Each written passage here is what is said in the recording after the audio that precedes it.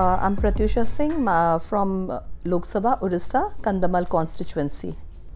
I've been doing various uh, development work for my constituency. Uh, the major uh, development work which we could do was to uh, start up the 22 years old project, uh, railway project in Kandhamal. Actually, my people in Kandhamal, it's totally a tribal belt and they've not witnessed railway up till now.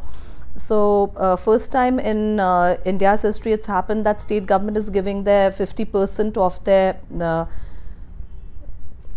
uh funds and uh, land free of cost. And along with center we have started this railway project. And uh, by next year very soon my people will be able to witness railway track in Kandhamal railway and uh, another thing is that uh, since it's a mountainous region and uh, it's sparsely populated and uh, totally a tribal belt, so we had this communication problem. So in four years span, uh, I can proudly say that uh, my people now they can commute. We had a lot of Naxal problems. We've addressed that with communication, with road connectivity, and my, most of my MPLAD have used for uh, the development of schools and uh, for education.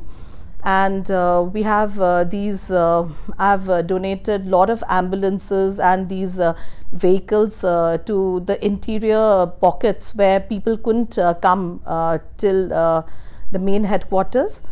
And um, besi besides that network problem we had.